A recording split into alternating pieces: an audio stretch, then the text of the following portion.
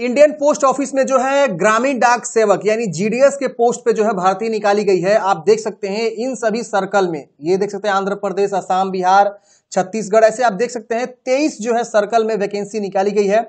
और आप form fill कर सकते हैं अगर आप दसवीं पास हैं तो। बहुत ही ज़्यादा पोस्ट वैकेंसी निकाली गई है। लगभग लगभग जो है अड़तीस हज़ार नौ सौ छब्बीस पोस्ट पे भर्ती निकाली गई है। और मैंने इसके ऊपर वीडियो भी बना दिया कि कैसे आपको फॉर्म को फिल करना है। ये देख सकते हैं, ये वाली वीडियो आप देख लीजिएगा अगर आपको फॉर्म फिल करना हुआ। ये तेरह मिनट अड़तीस सेकंड का वीडियो है। काफ़ी कमाल की वीडियो मैंने बताया हुआ है। इसमें बहुत सारे लोग गलती कर रहे हैं। वो क्या गलती नहीं करना है, स्टेप बाय स्टेप पहले समझ लीजिएगा। कि कैसे आपको फॉर्म को फिल करना है, फिर आप फॉर्म को अप्लाई करिएगा। लेकिन इस वीडियो में हम समझने वाले हैं फुल नोटिफिकेशन के बारे में, क्योंकि आप लोगों का सबसे ज़्यादा क्वेश्चन ये है कि इसमें एग्ज़ाम नहीं होगा तो सिलेक्शन कैसे होगा, कितना परसेंट पे कटअप जाता है, इसके अलावा सैलरी क्या होगी, और स्टेट वाइज डिस्ट्रिक्ट वाइज जो है वैकेंसी हम कैसे निकाल सकते हैं वगैरह वगैरह, सभी जानकारी को हम यहाँ पे समझेंगे अप्लीकेशन फ़ी मतलब ए टू जेड गाइडलाइंस हम यहाँ पे आपको बताने वाले हैं। इंडियन पोस्ट जो जीडीएस की वैकेंसी निकाली गई है। तो चलिए फ्रेंड्स वीडियो को स्टार्ट करते हैं। मेरा नाम है दिलीप और आप देख रहे हैं DS helping forever YouTube channel दोस्तों, अगर आपको वीडियो अच्छा लगे तो वीडियो को लाइक ज़रूर करिएगा। तो फ्रेंड्स देख सकते हैं, ये जो है ऑफिशियली वेबसाइट है। अब यहाँ पे काफ़ी लोग बोल रहे हैं कि ये फेक वैकेंसी है। फ्रेंड्स ये फेक नहीं है। आप यहाँ पे यूआरएल देखेंगे ना तो Indian post GDS online dot GOV dot in ये गवर्नमेंट की वेबसाइट है. Ministry of community communication department की वैकेंसी है. और यहाँ पे देखते हैं गवर्नमेंट यहाँ पे यूआरएल में लगा हुआ है. तो समझ लीजिए 110 परसेंट ये जो है गवर्नमेंट की पोर्टल है तो कभी फेक हो ही नहीं सकता. इसको आप भ्रम में ना फैले.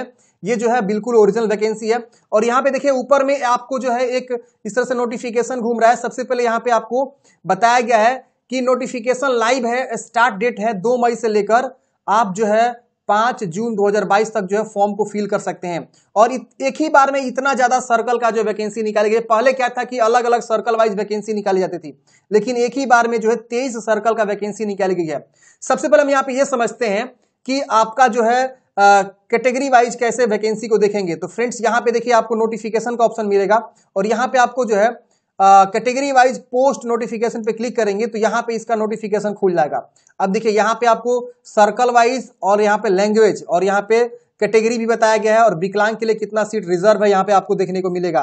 तो 35 फाइव यहाँ पे जो है देख सकते हैं सीरियल आप देखेंगे वेस्ट बंगाल में जो है बंगाली हिंदी इंग्लिश का भी है नेपाली का भी है, क्योंकि बंगाल में बहुत सारे लैंग्वेज बोले जाते हैं तो अलग अलग रीजन वाइज यहाँ पे लैंग्वेज के अनुसार जो है यहाँ पे बताया गया। उत्तराखंड है, उत्तर प्रदेश है, तेलंगाना है तो इस तरह से आप देख सकते हैं और हर एक डिस्ट्रिक्ट हर एक सर्कल वाइज जो है स्टेट वाइज आपको यहाँ पे लैंग्वेज और यहाँ पे जो है आपको सीटों की संख्या दिखाई देगी।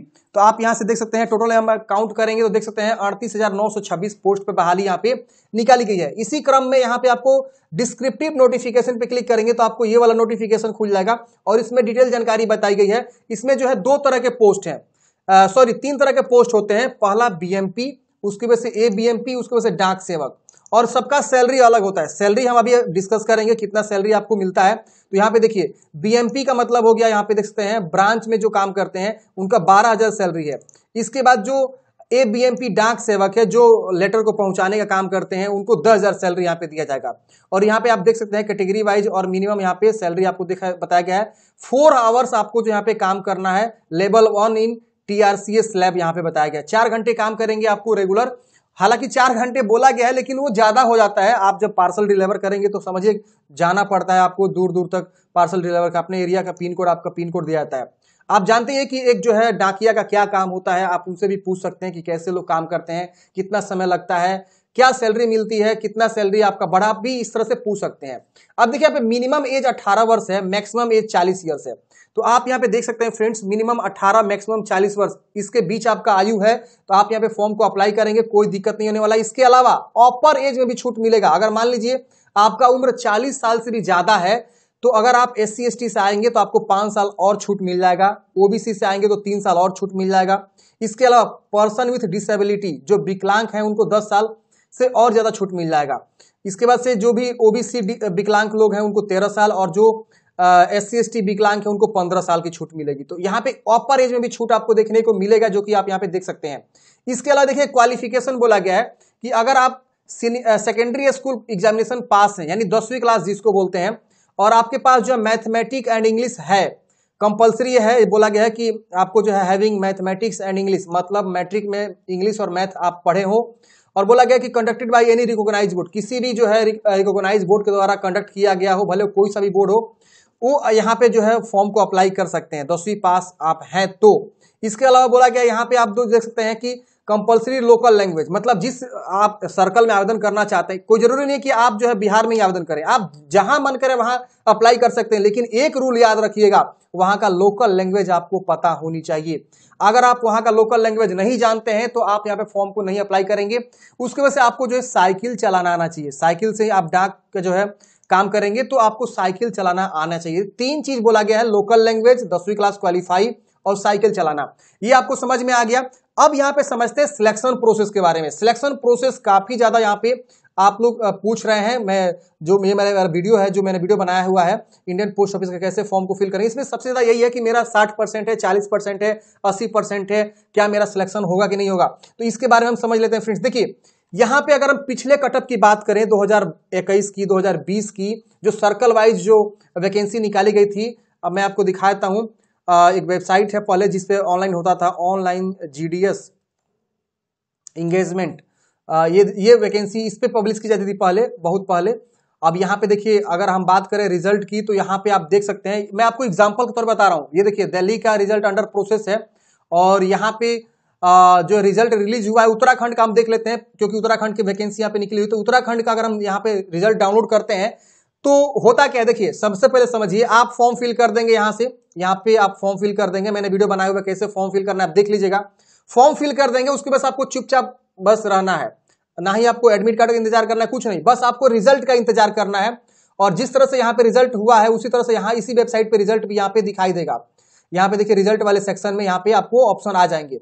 तो रिज़ल्ट यहाँ पे आपको वेट करना है। अब रिज़ल्ट कैसे बनता है? तो दसवीं क्लास का जो आपका मार्क्स है, जितना आप गेन किए हुए हैं मार्क्स उसी बेस पे आपका रिज़ल्ट बनता है। तो ये पिछले साल की वेबसाइट है जहाँ से आप लोग रजिस्ट्रेशन किए हुए थे, और ये भी ओरिजिनल ही वेबसाइट है, लेकिन इस बार जो है चेंज करके इस वेबसाइट पे शिफ्ट कर दिया गया है सभी चीज़ों को। आप यहाँ पे देख सकते हैं। तो यहाँ पे हम उत्तराखंड का रिज़ल्ट डाउनलोड किया यहाँ पे। तो देखिए यहाँ पे जो है उत्तराखंड का कितना कटअप गया है। आप इसी से अंदाज़ा लगा सकते हैं कि अगर आपका 80 परसेंट है या 60 परसेंट है या 40 परसेंट है तो आपको रिज़ल्ट बनेगा कि नहीं बनेगा? यहाँ पे देखिए देखिए, यहाँ पे अगर हम बात करें उत्तराखंड की तो देखिए, एक कैंडिडेट्स हैं जिनका यहाँ पे एचओ नेम मतलब ये जहाँ पे उन्होंने आवेदन करा, फिर बजवार जीडीएस एबीएमपी डाक सेवक की यहाँ पे जनरल से उन्होंने कैटेगरी से आवेदन किया है, एक सीट पे यहाँ पे उनको जो है रजिस्ट्रेशन नंबर है, और उनका 95 परसेंट मार्क्स पे यहाँ पे जो उनका कटअप गया है। ये हर्षित है इनका 100 परसेंट पे गया है ये 95 परसेंट पे गया है 96.6 पे गया है इनका। तो आप यहाँ पे देखेंगे फ्रेंड्स देख सकते हैं ना 96.3 93.1 95 90 मतलब ये क्या है? ये जो है आपका मार्क्स uh, जो है मैट्रिक क्लास का उसके अकॉर्डिंग यहाँ पे जो है आपका गया है। एक यहाँ पे देखिए विकलांग का यहाँ पे बना हुआ है रिज़ल्ट यहाँ पे 89.3 परसेंट देख रहे हैं ना तो आप यहाँ पे सोच सकते हैं कि कितना हाई कटअप रहता है। और यहाँ पे 90 प्लस ही लोगों को यहाँ पे जो है मेरिट लिस्ट पे नाम है तो आप एक बार ज़रूर देखेंगे। लेकिन बहरहाल आप ज़रूर अप्लाई करें, अगर आपका अप्लीकेशन फ़ी नहीं लग रहा है या सौ रुपये ही तो अप्लीकेशन फ़ी लग रहा है, एक बार ज़रूर आप अप्लाई करें, एक बार यहाँ पे फॉर्म फिल करें। और मे भी अगर आपका सत्तर प्लस है तो मैं तो कहूँगा कि आप ज़रूर अप्लाई करें, क्योंकि मे भी बहुत सारे लोग अप्लाई नहीं करेंगे सैलरी को देख के, या वगैरह वगैरह। तो आप एक बार ज़रूर अपने ही सर्कल में आवेदन करें, अगर आपके एरिया में दस बारह हज़ार की सैलरी वाली गवर्नमेंट जॉब मिले तो क्या नुकसान है? आप कर सकते हैं, लेकिन मेन जो फोकस आपका है, उससे बिल्कुल नहीं भटकना है। आप जिसके लिए तैयारी कर रहे हैं, उस पर तैयारी करते रहिए। बाकी ये जो है साइड से वैकेंसी है, आप आवेदन कर, देखिए, यहाँ पे एक एससी कैटेगरी का जो है eighty seven point one six six seven percent पे यहाँ पे जो इनका कटअप गया है। तो 87 वालों को भी यहाँ पे लिया हुआ है। तो बहुत सारे और हम नीचे आएँगे तो और भी आपको यहाँ पे पता चलेगा। और यहाँ पे कैसे बनता है? देखिए, मान लीजिए आपको दिखाते हैं। कैसे आपका कटअप लिस्ट बनता है, ये समझिए। जैसे मान लीजिए हम यहाँ पे सर्कल यहाँ पे दिखाया गया। बिहार हम यहाँ पे सपोज़ क्लिक करते हैं। आप अपने अनुसार जो आप चाहें वो क्लिक करके देख सकते हैं। तो मैं आपको बिहार के तौर पर एग्ज़ाम्पल बता रहा हूँ। बिहार पे आप जैसे ही क्लिक करेंगे तो बिहार के जितने डिस्ट्रिक्ट हैं, जहाँ जहाँ सीट खाली है सर्कल में, उस सर्कल का नाम यहाँ पे खुल के आएगा। अभी साइट बहुत ज़्यादा धीरे चल रहा है। मैंने क्लिक कर दिया, ये खुल रहा है। देखिए, यहाँ पे खुल क्या? यहाँ पे देखिए नोटिफिकेशन लाइव सर्कल अब यहाँ पे सहरसा, पटना साहिब, मधुबनी, औरंगाबाद, समस्तीपुर, सारण सीतामढ़ी। जैसे मान लीजिए हम यहाँ पे जो है पटना का देखना चाहते हैं तो पटना वाले पे हमने क्लिक किया, ठीक है? तो मैंने यहाँ पे औरंगाबाद में क्लिक किया तो यहाँ पे देखिए ऑफ़िस का नेम दिया हुआ है, पोस्ट ऑफ़िस का नेम, और यहाँ पे दिखाया गया कि लैंग्वेज हिंदी है और पिन कोड क्या है और कितना सीट है। जैसे ओबीसी का यहाँ पे सीट है, यहाँ पे जनरल का सीट है, यहाँ एससी का सीट है, और हर एक जो है ऑफ़िस में एक एक सीट ही रखा गया है। किसी में दो तीन नहीं रखा गया है। तो आप देखेंगे और यहाँ पे समझेंगे कि अगर आपका यहाँ पे ईडब्ल्यूएस है तो ईडब्ल्यूएस यहाँ पे कपरी एसओ से है तो कपरी में आप जो है ईडब्ल्यू से आवेदन करेंगे तो बेहतर रहेगा। एसएससी से है तो एसएससी में आप यहाँ पे आवेदन करेंगे एक सीट के लिए एससी कैंडिडेट्स यहाँ जनरल है तो यहाँ सब कोई आवेदन कर सकता है। अब इसमें मान लीजिए आप जनरल से है, आवेदन यहाँ पे किए एक सीट के लिए मंजूरही मतलब ऑफ़िस है, जो पोस्ट ऑफ़िस है वहाँ पे, और यहाँ पे गिर गया पचास फॉर्म, सपोज़। और पचास फॉर्म में जो है, जिनका सबसे ज़्यादा परसेंटेज है, उनको यहाँ पे सिलेक्शन करके दे देगा रिज़ल्ट तो ऐसे सिलेक्शन होता है यहाँ पे। समझ गए? और भी यहाँ पे पेज नंबर दो पे आप जा सकते हैं। तो इस तरह से आपका जो है फॉर्म को चेक करना है और आवेदन करना है। तो ये चीज़ आप समझ गए फ्रेंड्स सिलेक्शन प्रोसेस क्या है? और इसमें जो है, कैसे आपका मेरिट बनता है? और आपको कैसे फॉर्म को अप्लाई करना है। तो ये चीज़ें फ्रेंड्स आपको समझ में आ गया होगा कि आप जो है district wise office name wise और स्टेट वाइज कैसे जो आप सीट सीट को सिलेक्ट कर सकते हैं मतलब सीट को देख सकते हैं कि किसमें कहाँ पे सीट है, किस ऑफ़िस में, किस डाक विभाग में, किस पोस्ट ऑफ़िस में जो कितना सीट है। आप ये समझ गए होंगे। अब समझते हैं अप्लीकेशन फ़ी कितना लगने वाला है फॉर्म फिलअप करने के लिए। देखिए फ्रेंड्स अप्लीकेशन फ़ी बहुत ही सस्ता है यहाँ पे। आपको सौ रुपये अप्लीकेशन फ़ी देना होगा।